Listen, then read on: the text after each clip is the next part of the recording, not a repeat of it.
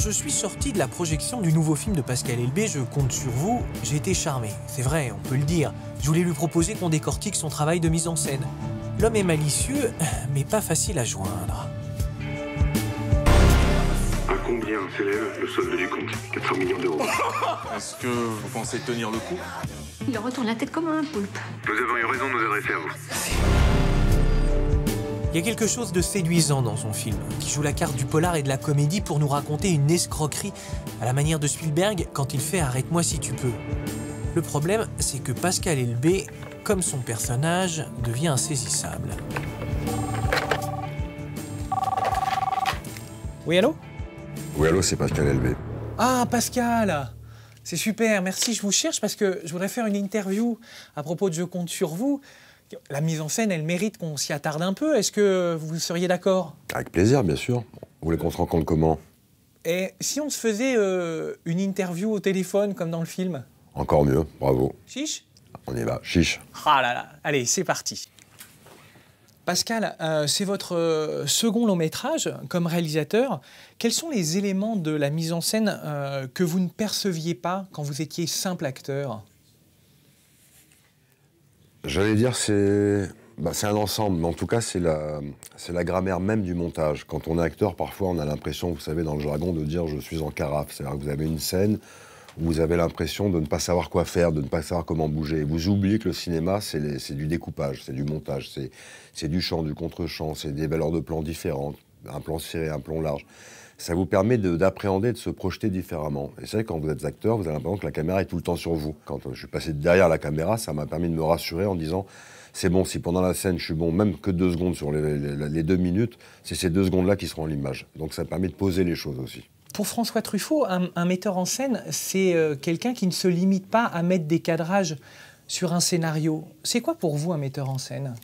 J'ai l'impression qu'un bon metteur en scène, c'est quelqu'un qui aime aussi bien la photo, ça veut dire le cadre, la lumière, qui est sensible à ça, qui est, qui est sensible à une certaine à une perspective, qui est sensible à, à une façon de, de- de se mouvoir dans le cadre, mais aussi qui est sensible surtout à, à- à l'enjeu premier, qui est quand même son scénario véhiculé par l'acteur. Écoutez bien ce que je vais vous dire. Vous participez à une mission d'État.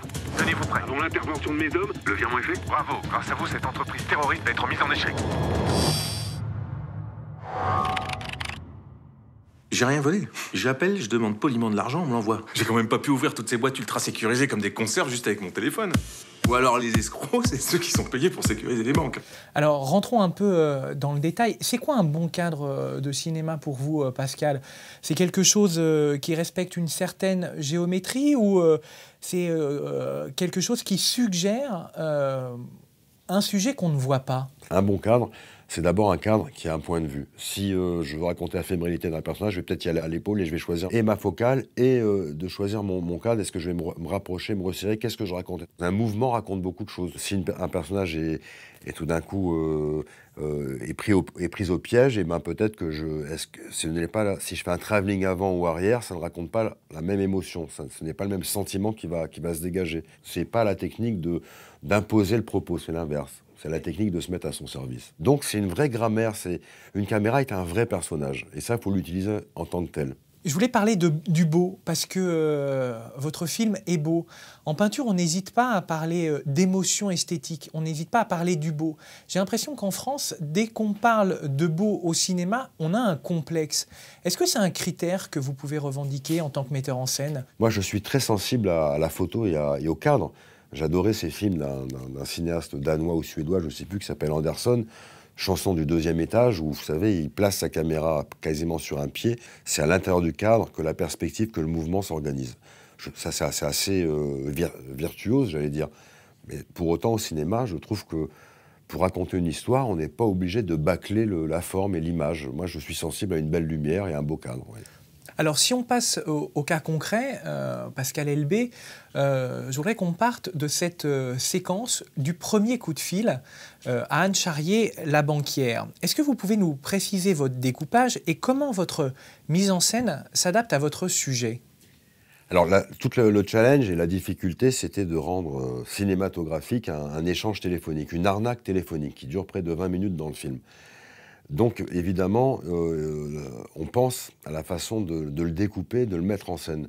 Pour moi, il était essentiel qu'il y ait une vraie différence entre lui, qui est lui euh, au soleil, euh, se faisant passer pour un, espion, et elle, qui est dans un, dans un cadre beaucoup plus réglementaire, administratif d'une banque. Ce qui était important pour moi, c'était de voir l'étau qui se resserre. L'étau, c'est aussi le cadre.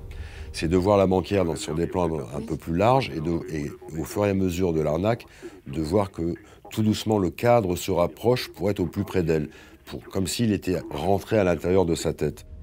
La direction des ressources humaines m'a parlé de vous. Vos états de service au sein de notre groupe sont irréprochables.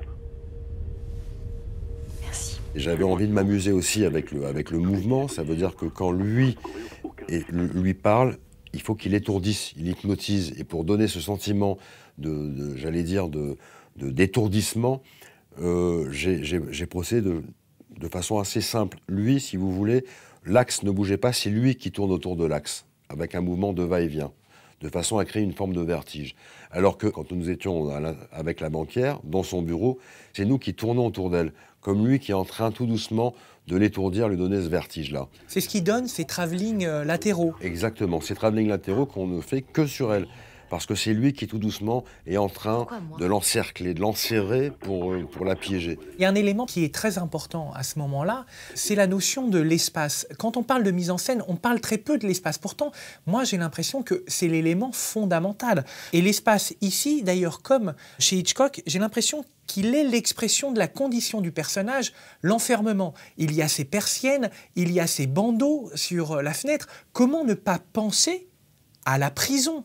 Déjà, elle est enfermée dans un piège. Complètement. C'est euh, de la même façon que quand euh, il est en train, à bien après qu'elle est mordue à, l'hameçon, quand il est en train vraiment de la convaincre, et j'avais besoin de placer ma caméra, euh, j'allais dire comme si elle était observée comme un, comme un rat de laboratoire, je l'ai mis, en, mis en plongée pour que on puisse l'observer minuscule. Lui, il était en, très, en plan très serré, et elle, quand elle dit « Ok, je vais le faire. Vous savez, quand elle craque et qu'elle s'écroule dans son bureau, j'ai placé ma caméra en hauteur pour la voir écrasée petite, toute petite. Ça aussi, c'est des choix qui renvoient dans l'imaginaire ou l'inconscient du, spectateur une, une idée aussi de la domination et du pouvoir. Pascal Elbé, on va finir avec une euh, question qui est un rituel. Vous êtes prêt? Oui, je vous écoute. Pourquoi filmez-vous? Parce que j'ai découvert que c'était sans doute la discipline la plus euh, épanouissante et c'est sans doute l'aventure la plus enrichissante et la plus excitante que j'ai rencontrée dans ma vie. Merci Pascal, à bientôt. À bientôt.